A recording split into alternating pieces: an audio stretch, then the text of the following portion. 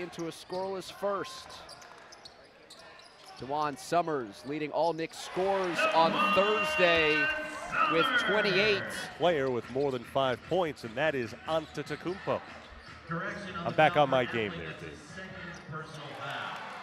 Summers, numbers for the Knicks. Marshall a three. Summers follows.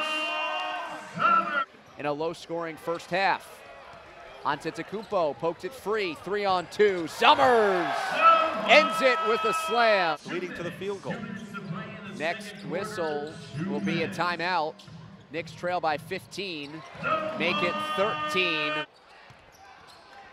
For Westchester, Summers lost his footing and hits over Corsi. Corsi defended well by Westchester.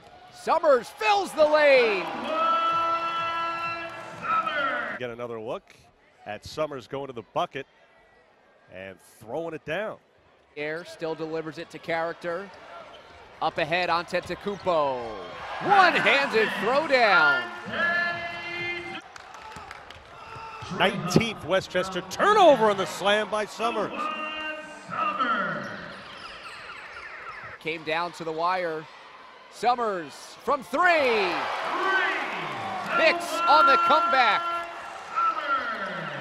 We have a three-point game in the final two minutes. Summers fakes it, then fires. We are tied at 79.